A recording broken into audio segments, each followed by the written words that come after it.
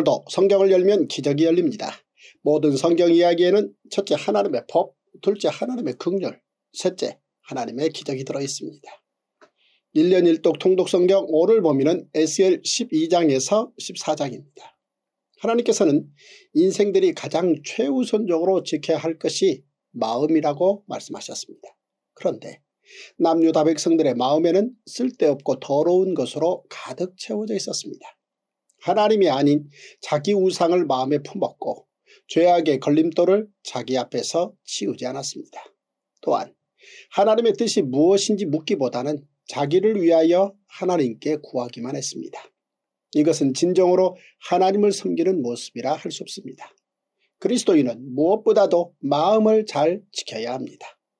하나님보다 중요하게 여기는 것이 있다면 그것이 내 우상일 수 있습니다.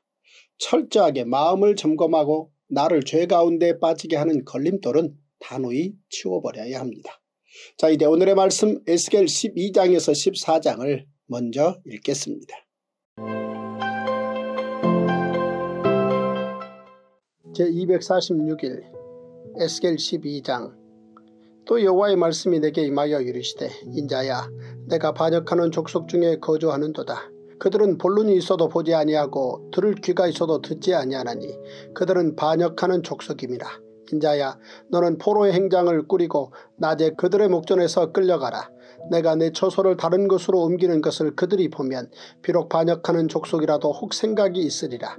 너는 낮에 그들의 목전에서 내 포로의 행장을 밖에 내놓기를 끌려가는 포로의 행장같이 하고 저물 때 너는 그들의 목전에서 밖으로 나가기를 포로 되어 가는 자같이 하라.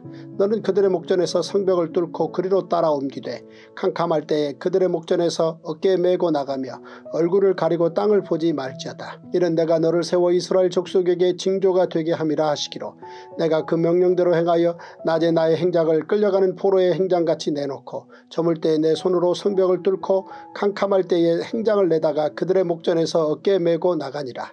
이튿날 아침에 여호와의 말씀이 또 내게 임하여 이르시되 인자야 이스라엘 족속 곧 그 반역하는 족속이 내게 묻기를 무엇을 하느냐 하지 아니하더냐? 너는 그들에게 말하기를 주 여호와의 말씀에 이것은 예루살렘 왕과 그 가운데 있는 이스라엘 온 족속에 대한 묵시라 하셨다 하고 또 말하기를 나는 너희 징조라 내가 행한 대로 그들도 포로로 사로잡혀 가리라. 무리가 성벽을 뚫고 행장을 그리로 가지고 나가고 그 중에 왕은 어두울 때 어깨에 행장을 메고 나가며 눈으로 땅을 보지 아니하려고 자기 얼굴을 가리리라 하라. 내가 또 내 그물을 그의 위에 치고 내 올무에 걸리게 하여 그를 끌고 갈대아 땅 바벨론에 이르리니 그가 거기에서 죽으려니와 그 땅을 보지 못하리라. 내가 그 호위하는 자와 부대들을 다 사방으로 흩고 또 그들을 따라 칼을 빼리라. 내가 그들을 이방인 가운데로 흩으며 여러 나라 가운데 해친 후에야 내가 여호와인 줄을 그들이 알리라. 그러나 내가 그중 몇 사람을 남겨 칼과 기근과 전염병에서 벗어나게 하여 그들이 이르는 이방인 가운데에서 자기의 모든 가증한 죄를 자백하게 하리니 내가 여호와인 줄을 그들이 알리라. 여호와의 말씀이 또 내게 임하여 이르시되 인자야 너는 떨면서 내 음식을 먹고 놀라고 근심하면서 내 물을 마시며 이 땅 백성에게 말하되 주 여호와께서 예루살렘 주민과 이스라엘 땅에 대하여 이르시기를 그들이 근심하면서 그 음식을 먹으며 놀라면서 그 물을 마실 것은 이 땅 모든 주민의 포악으로 말미암아 땅에 가득한 것이 황폐하게 됩니다. 사람이 거주하는 성읍들이 황폐하며 땅이 적막하리니 내가 여호와인 줄을 너희가 알리라 하셨다 하라. 여호와의 말씀이 또 내게 임하여 이르시되 인자야 이스라엘 땅에서 이르기를 날이 더디고 모든 묵시가 사라지리라 하는 너희의 이 속담이 어찌 됨이냐 그러므로 너는 그들에게 이르기를 주 여호와께서 이같이 말씀하시기를 내가 이 속담을 그치게 하리니 사람이 다시는 이스라엘 가운데에서 이 속담을 사용하지 못하리라 하셨다 하고 또 그들에게 이르기를 날과 모든 묵시의 응함이 가까우니 이스라엘 족속 중에 허탄한 묵시나 아첨하는 복술이 다시 있지 못하리라 하라. 나는 여호와라 내가 말하리니 내가 하는 말이 다시는 더디지 아니하고 응하리라. 반역하는 족속이여 내가 너희 생전에 말하고 이르리라. 나주 여호와의 말이니라 하셨다 하라 여호와의 말씀이 또 내게 임하여 이르시되 인자야 이스라엘 족속의 말이 그가 보는 묵시는 여러 날 후의 일이라. 그가 멀리 있는 때에 대하여 예언하였다 하느니라. 그러므로 너는 그들에게 이르기를 주 여호와의 말씀에 나의 말이 하나도 다시 더디지 아니할지니 내가 한 말이 이루어지리라. 나 주 여호와의 말이니라 하셨다 하라. 에스겔 13장 여호와의 말씀이 내게 임하여 이르시되 인자야 너는 이스라엘에 예언하는 선지자들에게 경고하여 예언하되 자기 마음대로 예언하는 자에게 말하기를 너희는 여호와의 말씀을 들으라. 주 여호와의 말씀에 본 것이 없이 자기 심령을 따라 예언하는 어리석은 선지자에게 화가 있을진저 이스라엘아 너희 선지자들은 황무지에 있는 여우 같으니라. 너희 선지자들이 성 무너진 곳에 올라가지도 아니하였으며 이스라엘 족속을 위하여 여호와의 날에 전쟁에서 견디게 하려고 성벽을 수축하지도 아니하였느니라. 여호와께서 말씀하셨다고 하는 자들이 허탄한 것과 거짓된 점괘를 보며 사람들에게 그 말이 확실히 이루어지기를 바라게 하거니와 그들은 여호와가 보낸 자가 아니라 너희가 말하기는 여호와의 말씀이라 하여도 내가 말한 것이 아닌즉 어찌 허탄한 묵시를 보며 거짓된 점괘를 말한 것이 아니냐? 그러므로 주 여호와께서 이같이 말씀하셨느니라. 너희가 허탄한 것을 말하며 거짓된 것을 보았은즉 내가 너희를 치리라. 주 여호와의 말씀이니라 그 선지자들이 허탄한 묵시를 보며 거짓 것을 점쳤으니 내 손이 그들을 쳐서 내 백성의 공회에 들어오지 못하게 하며 이스라엘 족속의 호적에도 기록되지 못하게 하며 이스라엘 땅에도 들어가지 못하게 하리니 너희가 나를 여호와인 줄 알리라. 이렇게 칠 것은 그들이 내 백성을 유혹하여 평강이 없으나 평강이 있다 합니다. 어떤 사람이 담을 쌓을 때 그들이 회치를 하는도다. 그러므로 너는 회치라는 자에게 이르기를 그것이 무너지리라. 폭우가 내리며 큰 우박덩이가 떨어지며 폭풍이 몰아치리니 그 담이 무너진 적 어떤 사람이 너희에게 말하기를 그것의 칠한 회가 어디 있느냐 하지 아니하겠느냐. 그러므로 나 주 여호와가 말하노라. 내가 분노하여 폭풍을 퍼붓고 내가 진노하여 폭우를 내리고 분노하여 큰 우박 덩어리로 무너뜨리리라. 회칠한 담을 내가 이렇게 허물어서 땅에 넘어뜨리고 그 기초를 드러낼 것이라. 담이 무너진 즉 너희가 그 가운데서 망하리니 나를 여호와인 줄 알리라.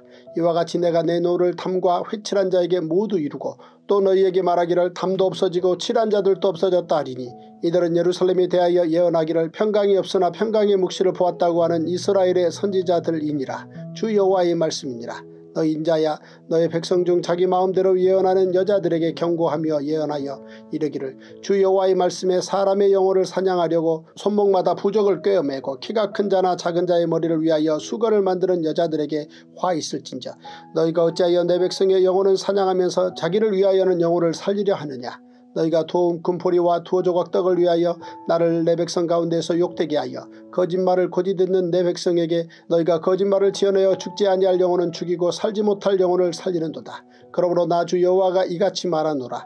너희가 새를 사냥하듯 영혼들을 사냥하는 그 부적을 내가 너희 팔에서 떼어버리고 너희가 새처럼 사냥한 그 영혼들을 놓아주며 또 너희 수고를 찢고 내 백성을 너희 손에서 건지고 다시는 너희 손에 사냥물이 되지 아니하게 하리니 내가 여호와인 줄을 너희가 알리라. 내가 슬프게 하지 아니한 의인의 마음을 너희가 거짓말로 근심하게 하며 너희가 또 악인의 손을 굳게 하여 그 악한 길에서 돌이켜 떠나 삶을 얻지 못하게 하였은즉 너희가 다시는 허탄한 묵시를 보지 못하고 전복도 못할지라 내가 내 백성을 너희 손에서 건져내리니 내가 여호와인 줄을 너희가 알리라 하라.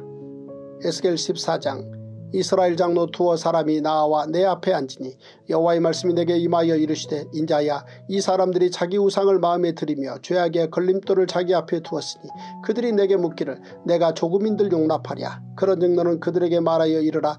나 주 여호와가 말하노라 이스라엘 족속 중에 그 우상을 마음에 들이며 죄악의 걸림돌을 자기 앞에 두고 선지자에게로 가는 모든 자에게 나 여호와가 그 우상의 수혜대로 보응하리니 이는 이스라엘 족속이 다 그 우상으로 말미암아 나를 배반하였으므로 내가 그들이 마음먹은 대로 그들을 잡으려 합니다. 그런즉 너는 이스라엘 족속에게 이르기를 주 여호와의 말씀에 너희는 마음을 돌이켜 우상을 떠나고 얼굴을 돌려 모든 가증한 것을 떠나라. 이스라엘 족속과 이스라엘 가운데 거류하는 외국인 중에 누구든지 나를 떠나고 자기 우상을 마음에 들이며 죄악의 걸림돌을 자기 앞에 두고 자기를 위하여 내게 묻고자 하여 선지자에게 가는 모든 자에게는 나 여호와가 친히 응답하여 그 사람을 대적하여 그들을 놀라움과 표징과 속담거리가 되게 하여 내 백성 가운데서 끊으리니 내가 여호와인 줄을 너희가 알리라. 만일 선지자가 유혹을 받고 말을 하면 나 여호와가 그 선지자를 유혹을 받게 하였음이거니와 내가 손을 펴서 내 백성 이스라엘 가운데에서 그를 멸할 것이라. 선지자의 죄악과 그에게 묻는 자의 죄악이 같은즉 각각 자기의 죄악을 담당하리니 이는 이스라엘 족속이 다시는 미혹되어 나를 떠나지 아니하게 하며 다시는 모든 죄로 스스로 더럽히지 아니하게 하여 그들을 내 백성으로 삼고 나는 그들의 하나님이 되려 함이라. 주 여호와의 말씀이니라.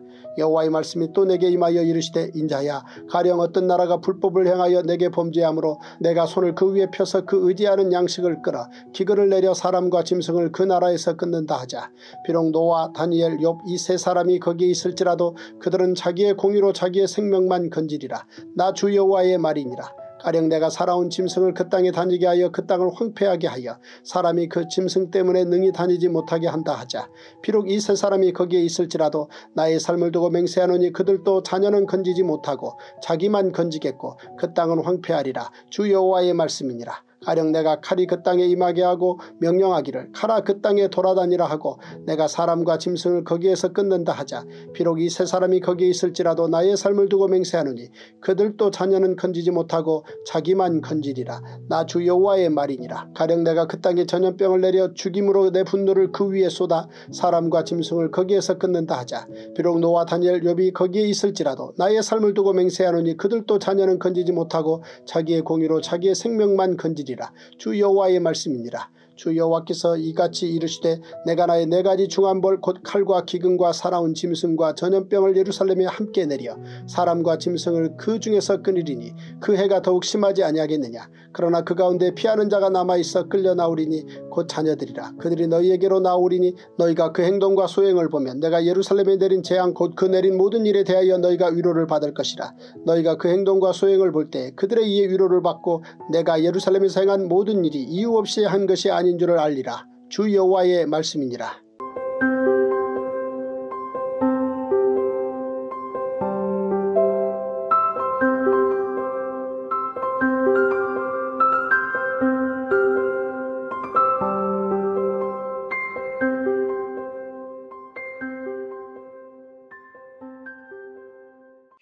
오늘의 말씀 에스겔 12장에서 14장에 등장하는 성경 지리 즉 공간은 그발 강가 갈대아 땅 바벨론 예루살렘입니다. 그리고 등장인물은 에스겔 거짓 선지자들 이스라엘 장로 두어 사람 노아 다니엘 욥입니다.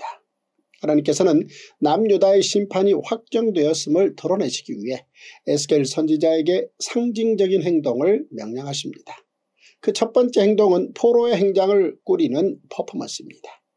바벨론의 포로로 끌려와 있는 남유다 백성들은 그 누구의 어떤 말도 들으려고 하지 않았습니다.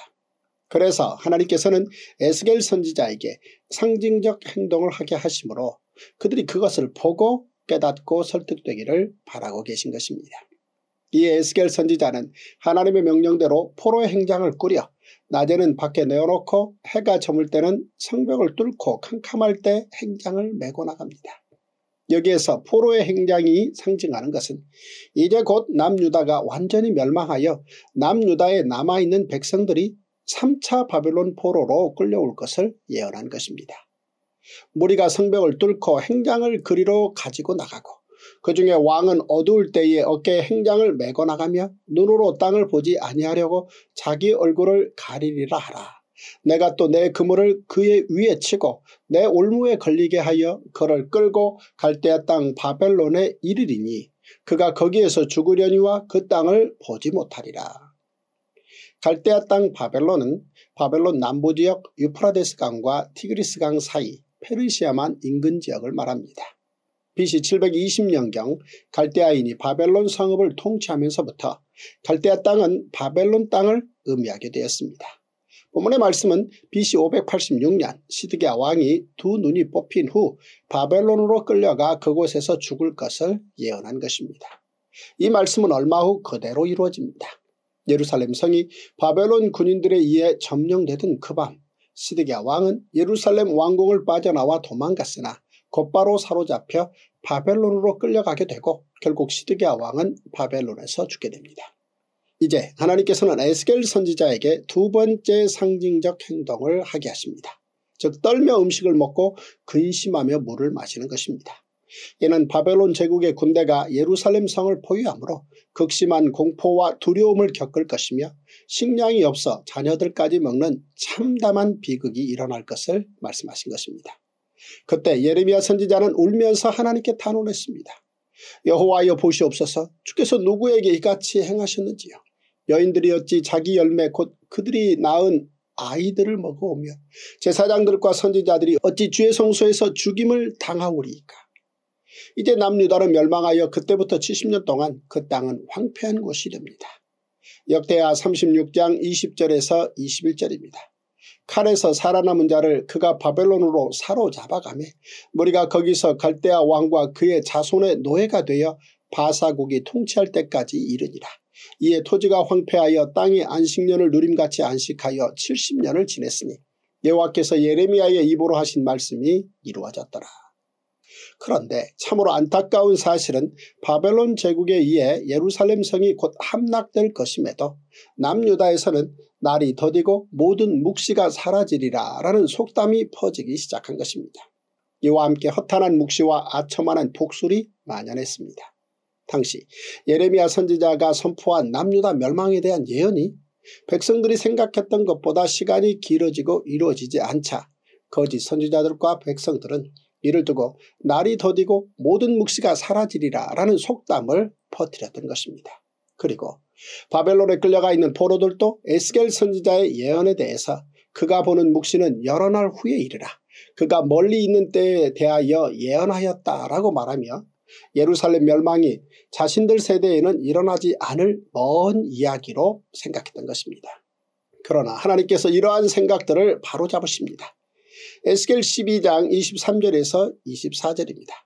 그러므로 너는 그들에게 이르기를 주 여호와께서 이같이 말씀하시기를 내가 이 속담을 그치게 하리니 사람이 다시는 이스라엘 가운데에서 이 속담을 사용하지 못하리라 하셨다 하고 또 그들에게 이르기를 날과 모든 묵시의 응함이 가까우니 이스라엘 족속 중에 허탄한 묵시나 아첨하는 복설이 다시 있지 못하리라 하라. 하나님께서는 에스겔 선지자를 통해 거짓 선지자들에 대해서도 경고하십니다. 주 여호와의 말씀에 본 것이 없이 자기 심령을 따라 예언하는 어리석은 선지자에게 화가 있을진저 하나님께서는 거짓 선지자들을 여우 회칠한 자라고 말씀하십니다. 성경에서 여우는 과수원을 파헤치고 가축을 잡아가는 악한 동물로 묘사되며 방해자들 거짓 선지자들을 지칭합니다. 이제 거짓 선지자들이 받을 심판은 다음과 같습니다. 첫째, 그들은 이스라엘 백성들의 공회에 들어오지 못합니다. 둘째, 그들은 이스라엘 족속의 호적에 기록되지 못합니다. 셋째, 그들은 이스라엘 땅으로 돌아가지 못합니다. 이러한 심판과 함께 하나님께서 거짓 선지자들의 손에서 하나님의 백성을 건져내겠다고 말씀하십니다. 너희가 다시는 허탄한 묵시를 보지 못하고 전복도 못할지라 내가 내 백성을 너희 손에서 건져내리니 내가 여호와인 줄을 너희가 알리라 하라. 또한 하나님께서는 에스겔 선지자를 통해 우상 숭배자들에게 임할 심판을 경고하십니다. 만일 선지자가 유혹을 받고 말을 하면 나 여호와가 그 선지자를 유혹을 받게 하였음이거니와 내가 손을 펴서 내 백성 이스라엘 가운데에서 그를 멸할 것이라. 선지자의 죄악과 그에게 묻는 자의 죄악이 같은즉 각각 자기의 죄악을 담당하리니. 이는 우상 숭배로 이끄는 자나 우상을 숭배하는 자는 모두 멸망할 것이라는 하나님의 엄한 경고의 말씀이었습니다. 하나님께서는 에스겔 선지자를 통해 남유다의 이 말 하나님의 심판을 구체적으로 말씀하시는데 첫째 기근의 심판, 둘째 짐승의 심판, 셋째 칼의 심판, 넷째 전염병 심판입니다. 이렇게 남유다의 멸망과 심판이 정해졌기 때문에 이제 남유다를 위한 어떤 중보 기도도 소용없음을 하나님께서 말씀하십니다.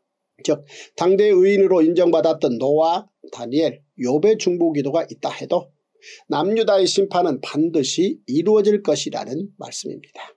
그러나 하나님께서는 심판 중에 남은 자가 있으며 그들을 구원할 것이라고 말씀하십니다. 에스겔 14장 22절에서 23절입니다. 그러나 그 가운데 피하는 자가 남아있어 끌려 나오리니 곧 자녀들이라. 그들이 너희에게로 나아오리니 너희가 그 행동과 소행을 보면 내가 예루살렘에 내린 재앙 곧 그 내린 모든 일에 대하여 너희가 위로를 받을 것이라. 너희가 그 행동과 소행을 볼 때에 그들에 의해 위로를 받고 내가 예루살렘에서 행한 모든 일이 이유 없이 한 것이 아닌 줄을 알리라. 주 여호와의 말씀입니다. 하나님께서 남기신 남은 자는 바벨론 포로로 끌려간 자들입니다. 하나님께서는 에스겔 선지자를 통해 이들이 바벨론에서 70년 동안 징계와 교육을 받고 극상품 모아가가 되어 예루살렘으로 돌아가 다시 제사장 나라 거룩한 시민이 될 것이라고 말씀하신 것입니다. 오늘도 성경을 열면 기적이 열립니다. 시대가 어려울수록 근본인 성경에 더욱 기초해야 합니다. 가까우신 소중하신 한 분과 오늘의 이 이야기를 꼭 공유해 주시고 구독과 좋아요 눌러주십시오. 성경 한 권이면 충분합니다. 와우!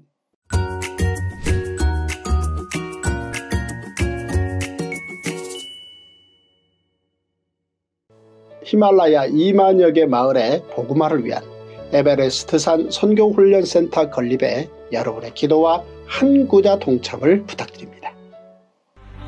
Dr. James O. Davis, the founder and president of Global Church Network, has repeatedly said, For my entire life, I've heard about the underground church in the Middle East, but now it is time to hear about the upper ground church in the Himalayan mountains. The Himalayan mountains are 1,500 miles wide, ranging from Bhutan to Nepal, India, Pakistan, and Afghanistan. There are more than 20,000 villages in the higher altitudes that have never had a local church in them. Mount Everest Training Center. The Mount Everest Training Center will be located in Salokambu, Nepal at the 8,000 foot level. Salokambu has a population of more than 110,000 people. The training center is just 7 miles from the Everest Base Camp at 17,500 feet and 15 miles from Mount Everest Peak, which is at 29,032 feet. In addition to training leaders during the week, the Mount Everest Training Center will serve as a phenomenal church on the weekends.